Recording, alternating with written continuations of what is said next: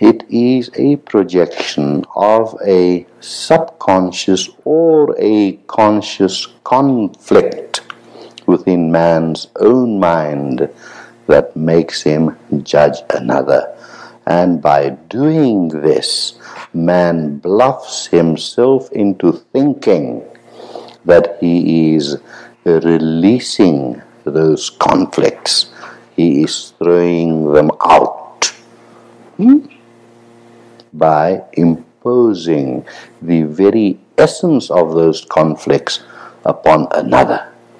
But the laws of nature and of karma does not work that way. Huh? It is like the ball thrown against the wall, which inevitably bounces back towards you. So instead of resolving the conflict, you are increasing it tenfold